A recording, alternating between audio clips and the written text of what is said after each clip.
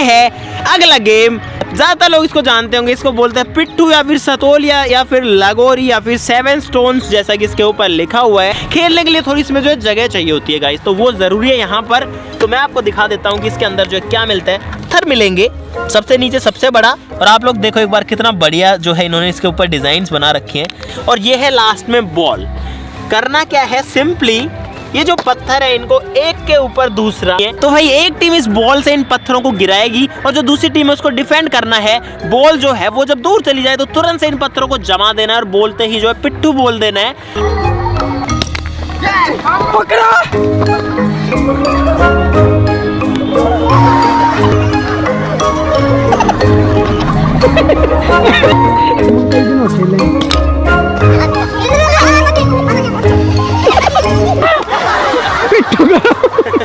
तो यहाँ पर जो पिट्ठू है गाइज़ वो बन चुका है और हम लोग हार चुके हैं।